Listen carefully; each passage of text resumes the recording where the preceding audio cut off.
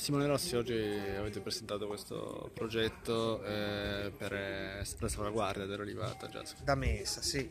sì, sì, un progetto che si chiama eh, Oliva Liguria di Ponente da coltivare Tagiasca con eh, la certezza scientifica eh, data dall'esame del DNA presso il CNR dove andrà a verificare se all'interno del, del, del vasetto confezionato ci saranno effettivamente le tagiasche o, o altro. Ecco. Quindi chiarezza, certezza per il consumatore e certezza per il produttore.